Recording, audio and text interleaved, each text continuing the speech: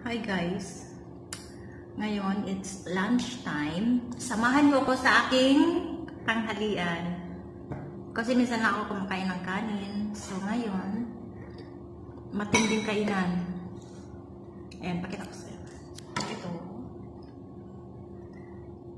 Radish siya. Ah, ano nga sa Tagalog? Yung radish? Basta radish siya. Ayan. Tapos, syempre, may kanin. Ayan. Sinigang na baka. At saka ito, yung sinabawan na sinigang din na bangus. Ayan siya. So, lahat ito kakainin ko. Kasi nga, labanos. Labanos pala. Labanos pala yung ano, yung Tagalog ng radish. Ano ba? Ang hirap talaga pag lumaki sa Amerika, no? Hindi, hindi, hindi mo alam kung ano yung taga, yung ano ng radish, di ba? Alam niyo na, Latin America ako. Okay? Samahan niyo ako sa akin. Lunch.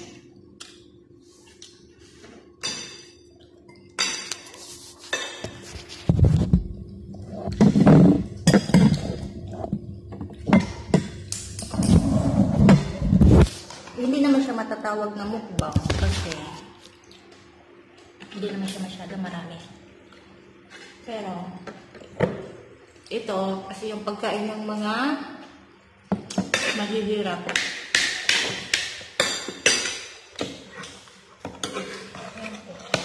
Sinigang.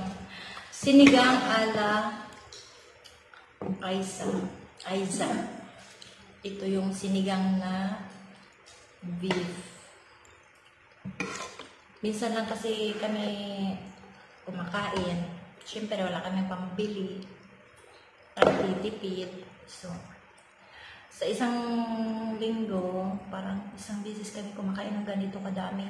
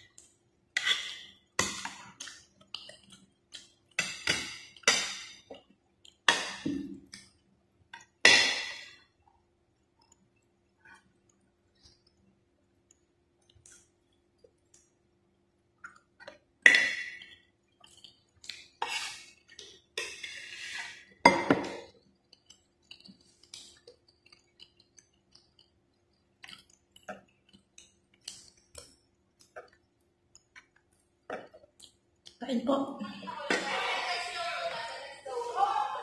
Magkakamay na ako. Ayan.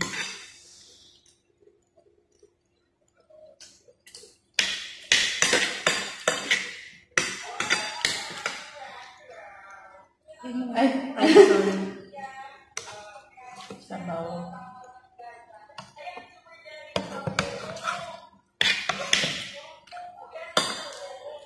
Next na tayo mag mukbang mukbang guys. Pag ano pag marami na tayong pambili ng syempre dapat mukbang. Yung isang lamisa talaga yun.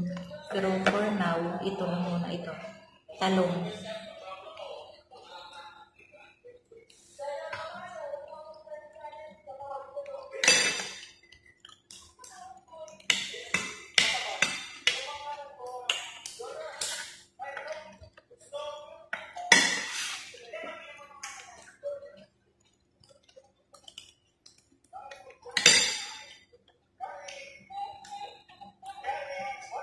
Asim.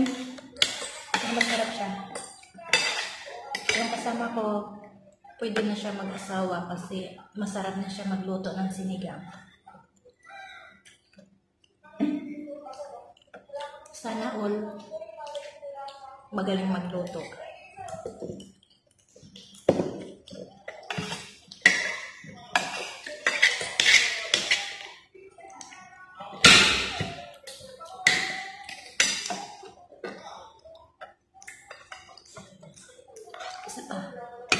Uy, patawarin ako. Ang dami kong nakain. Kaan naman.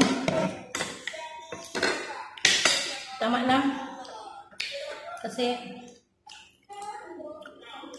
hanggang ano na to guys. Hanggang dinner na. Kasi pag ano kasi yung karne kasi yung beef mabigat ko sa tiyan.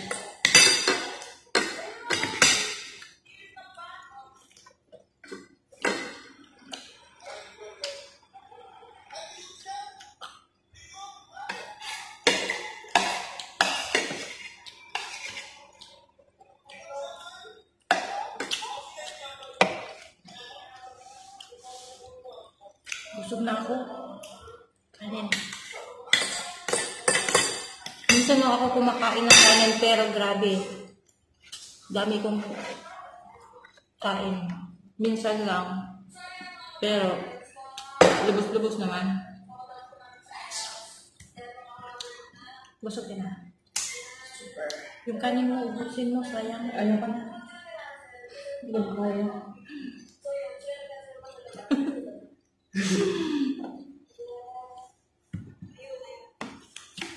Ubusin ko lang po, sayang ba?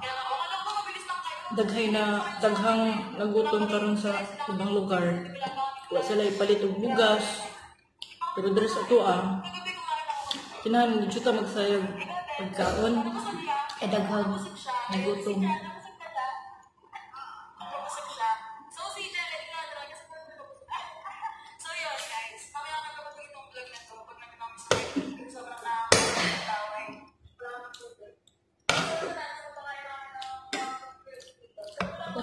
Ubusin ko to. Uy, ang busog ko.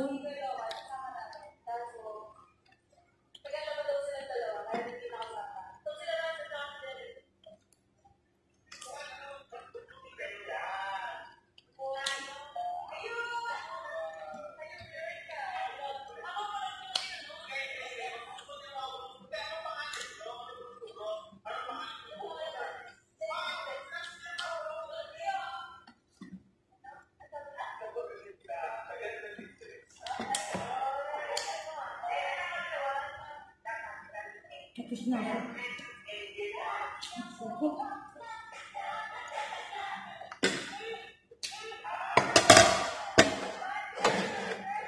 Hindi namin na ubus. Then, ah, radish. Radish salad.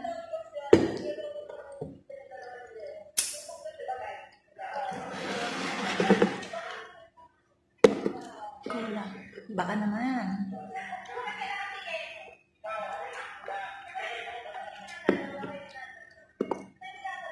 Minsan, kakain din tayo ng medyo, ano, yung pagmahirap ba?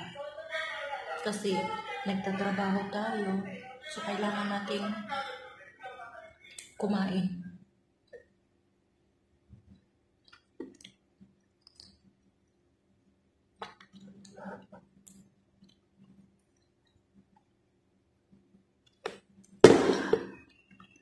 Sobrang busog ko.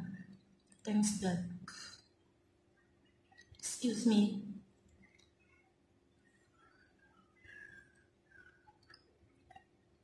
Para akong lalaki. Para akong lalaki na. Yan guys, ito na siya. Tapos na. Yan. Ayan, meron pa. At saka,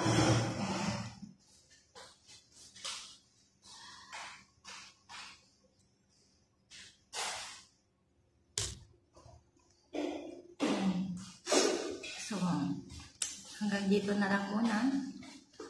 Salamat. Sa pagsama sa aking kain. Sana nabusog kayo. Bye-bye.